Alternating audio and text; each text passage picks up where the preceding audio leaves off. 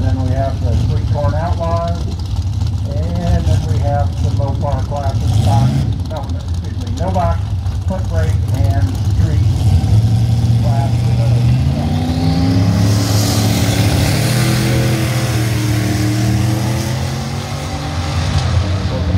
Turbo or turbos spooled up on the station line.